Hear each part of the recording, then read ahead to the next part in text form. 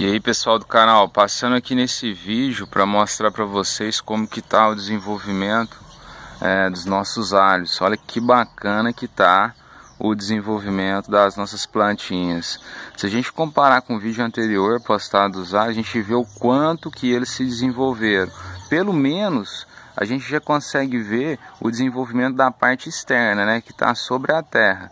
É, a curiosidade aqui nesse momento é gigantesca, dá vontade de fazer a retirada dele para ver como que tá, mas por enquanto a gente não pode fazer isso.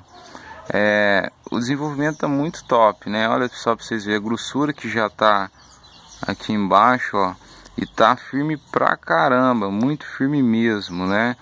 E outra coisa que é bacana, a distância entre um e outro ficou bacana. É, a gente consegue perceber que não está tendo nenhum tipo de competição entre as plantas, né? É, aquela ali, ali de trás, ó, comparando com as outras duas, ela está bem menor.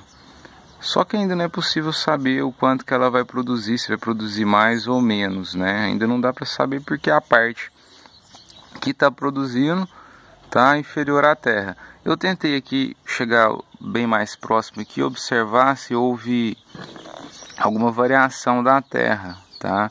E aparentemente não houve nenhuma variação, ou seja, não criou nenhum elevo ainda, né? Pessoal, é isso aí, tá? Passando apenas para mostrar para vocês como que tá o desenvolvimento dos nossos alhos. Espero que quem plantou aí também esteja se desenvolvendo como esses, né? Qualquer dúvida aí é só postar nos comentários, tá? Que a gente responde. Se não tiver a resposta de imediato, faz uma pesquisa e a gente responde aí. É isso aí.